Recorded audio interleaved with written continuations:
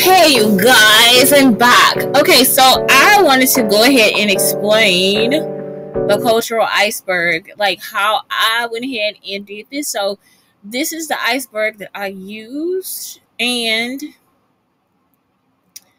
it was like really easy to use. So, um, what I did was like, you don't have to really go into everything.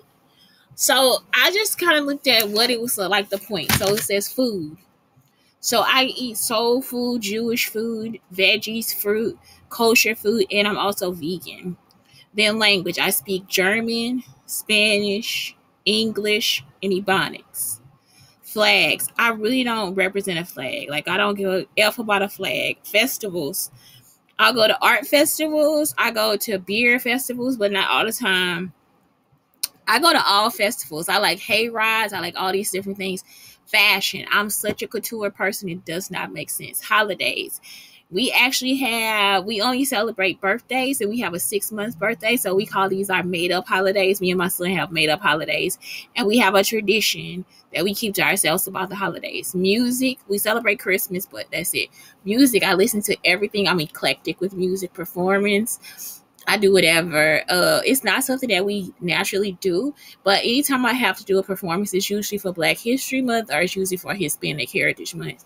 I've never done anything for like Jewish Culture Month or Native American uh, month. It's like always like with that, it's always more artistic than it is like um like dance. So it's like usually arts and crafts with those things. Literature, I read everything, but I predominantly stay with Black American culture. I sometimes read books by Asian people. Um, and that's it. Games.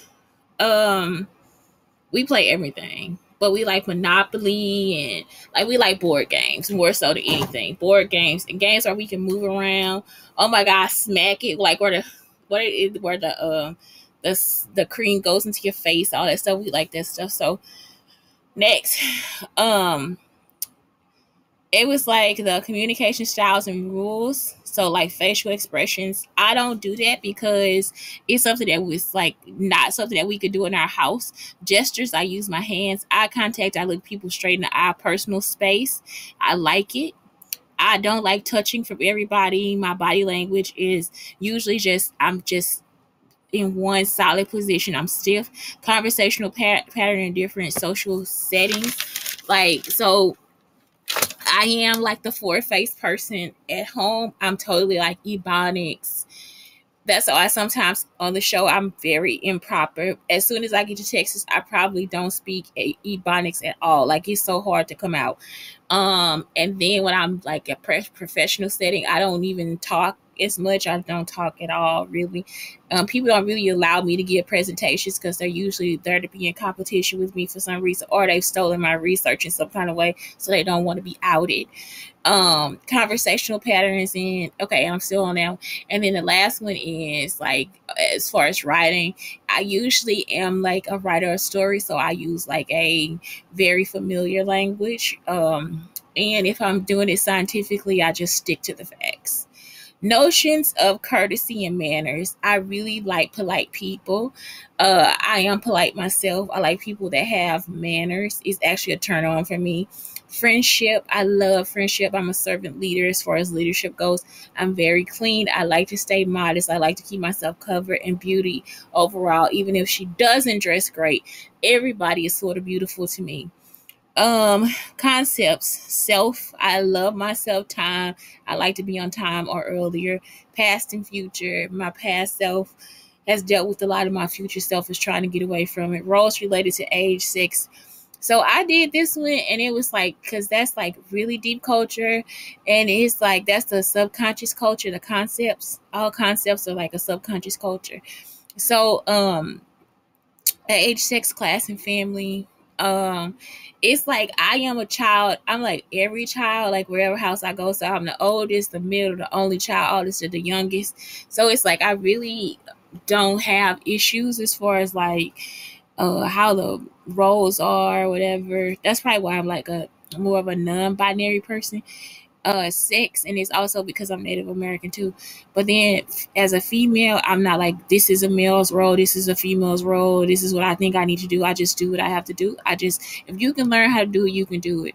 Class, socioeconomic status, like we were a low income family, but I also grew up in a household that was like not upper class it was like middle upper middle class. So um i i i always went through just from any household from lower from um low income to upper class household so it's like i don't really know how to tell you. My family is just like very diverse. Fairness i'm fair to all people. Justice i think everybody deserves it even me. Attitudes towards elders take care of them adolescents make sure you take care of them dependents.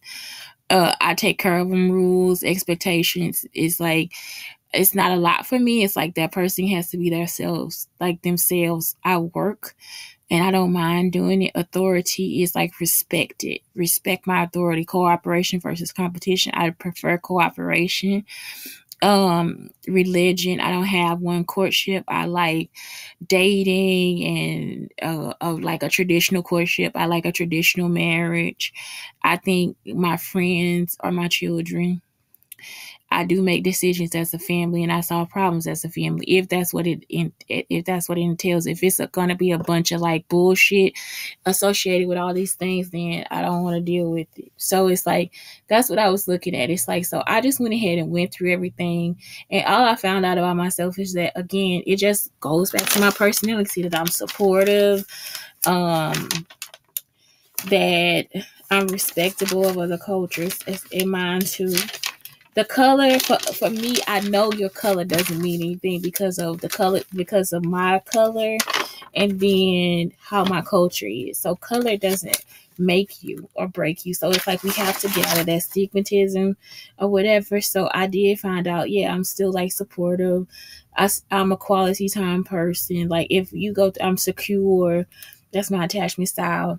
It's like even if you go through your iceberg and you learn all these different things about yourself that's it. Like it's just you just learn a lot. You learn a lot. You know, I didn't really find out that I'm creative. I'm creative though.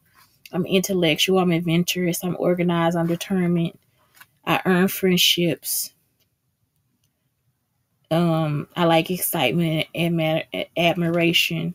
I'm a romantic. I really am a romantic. I'm a romantic towards my partner, even though I'm a woman. So again, that's like a non-binary thing. Like I would romance a guy for real. I romance men all the time. And so that's it. It's like I just am who I am. Like it's like again, you want to do that so you see that the surf the surface culture, the part of the point of doing a cultural identity is to see that your surface culture is different from your deep culture and your your unconscious role. So it's like that's what defines you. All the things that people cannot see is what defines you.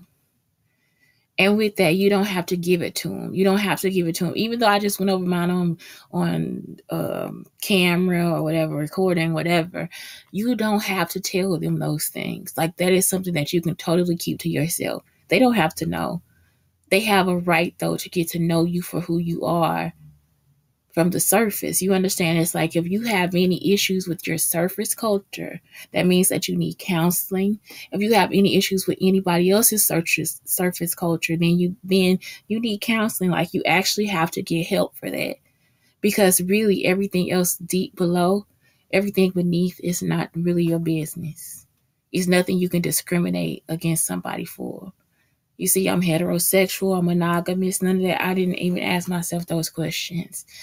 Um, and that's it. Like it's like you really have to think about that. So you can't force somebody to be polyamorous. You can't force them to go outside their roles about outside their religion for you. You have to really realize that nobody can change based on what you think their issues are. You see what I'm saying? It's not something you can change.